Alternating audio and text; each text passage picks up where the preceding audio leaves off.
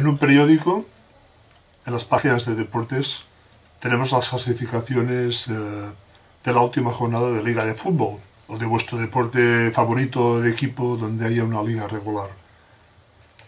No es nada más que un ranking, un ranking donde cada vez que se gana pues se dan dos o tres puntos y cuando se pierde pues no se gana ningún punto. También hay rankings pues de goleadores, de deporte de dos monos goleados, si es en béisbol pues de bateadores, ¿no? de, de hitters, de lo que sea. En el mundo académico también tenemos nuestros rankings. ¿Qué tenemos? Pues tenemos los rankings normalmente pues eh, en un país pues de grupos de investigación, de facultades, no, de docencia también tenemos, pero en general cuando hablamos de rankings pues hablamos de rankings investigadores. Eh, yo personalmente hay dos rankings que me gustan especialmente. Uno es el Times Higher Education Ranking, que es una ordenación de todas las universidades del mundo que tienen en consideración diversos elementos pues, eh, que, están basados eh, fundamentalmente en datos objetivos, aunque también tienen una parte subjetiva por, encuesta. De hecho, fue una extensión de otro, que es el, el QS, Ranking of World Universities, que es bastante parecido de momento y también da resultados muy parecidos. Estos rankings siempre dan lo mismo. Arriba siempre están el MIT, Harvard, University of California, Chicago, eh, Cambridge y Oxford en Inglaterra, ETH e Zurich, más o menos las 20 de arriba, universidades o centros de investigación suelen siempre ser los mismos, por las razones que sea, ¿eh? porque tienen mucha potencia, porque son muy grandes, etc. No me gustan rankings que en cambio salen bastantes, bastante en los medios de comunicación, como el famoso ranking académico de Shanghai. En mi opinión no está bastante bien hecho y además no tiene en cuenta el, tamaño de las universidades. ¿Cómo hacer un ranking, cómo hacer una clasificación si no se tiene en cuenta el tamaño de universidades? Siempre que sea un ranking de calidad, claro.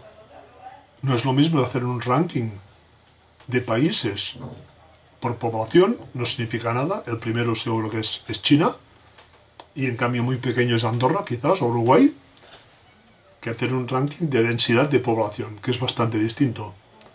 No es lo mismo hacer un ranking de Producto Interior Bruto, que quizás gana Estados Unidos, que un ranking de Producto Interior Bruto por habitante, que a lo mejor gana otro país, no sé, un país nórdico europeo, o Suiza, por decir algo o algún país latinoamericano. Eh, por eso los rankings aquí es bastante cuidado, francamente. Me gusta el Times Higher Education Ranking. Por cierto, su blog es bastante bueno. ¿Hay algún ranking que, que, sea interesante desde el punto de vista investigador a nivel iberoamericano? Sí, creo que hay uno bastante bueno, que es el CIMAGO International Ranking of Universities and Research Centers. cimago.com, simago.com. Ahí están tabuladas todos los centros de investigación, incluyendo centros médicos y universidades de todo el mundo en general, pero también está el ranking iberoamericano. Está bien hecho. Tiene en cuenta el tamaño de las universidades. Se puede ordenar de distintas formas, por tamaño también, claro. Pero, por ejemplo, se puede ordenar por el impacto de publicaciones. Se puede ordenar por la internacionalización de las publicaciones, si son en colaboración, si están publicadas en el primer cuartil.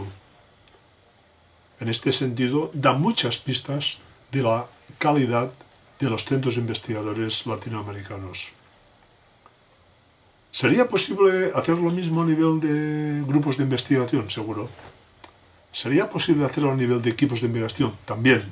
A nivel de equipos de investigación, también. Pero evidentemente esto consume tiempo. Los compañeros del grupo Simago de Granada lo hacen a través de la base de datos Scopus, que creo que Eva os ha hablado de ello, eh, está, es de Elsevier, es parecida evidentemente al Web of Knowledge, que es de Thomson y y a partir de todos los artículos que se publican cada año, Y a partir de las citas o artículos, de años anteriores, los amigos de Simago pues establecieron una serie de rankings que me parecen muy muy interesantes. Hay algunos otros rankings. En mi opinión, la mayoría adolecen de algún defecto. Eh, estos rankings os los proporciono en un material adicional en este módulo y os invito a, echar, a echar un ojo a todos los rankings. Hay un estudio en España de la Fundación Ciencia y Desarrollo, fundacioncid.com, que recoge algunos eh, de estos rankings y los comenta aún más. Yo mismo tengo bastantes comentarios sobre estos rankings en mi blog en catalán, lo podéis mirar y usar el traductor de Google para verlo en castellano o en otro idioma. Y creo pues que, que indican bastante bien por dónde van los tiros. Mirad, no hagáis mucho caso de los rankings una sola vez. Pero cuidado, su tendencia sí que es importante. Si una universidad, equipo de investigación o país siempre más o menos está por allí, bien, va bien, va bien, va bien, pero ni mejor ni peor. Si una universidad o centro de investigación, pues resulta que empezó arriba y va bajando, pues las cosas no van bien. Y al revés, los que suben van bien. Como últimamente estos rankings suelen hacer una edición anual, pues se puede visualizar bastante bien la evolución de cada centro investigador. Os recomiendo que echéis un vistazo a la versión iberoamericana del Simago International Ranking. De verdad, vale la pena, descubriréis bastantes cosas interesantes y seguro que os veréis reflejados en alguna de sus instituciones que por cierto están recogidas de forma prácticamente exhaustiva. Yo, ya habéis visto que en este curso tengo mis manías respecto a la investigación científica 2.0, eh, lo miro, lo miro, me informo, miro qué dice y además es útil también para saber por dónde es posible pues, establecer las mejores colaboraciones a nivel científico.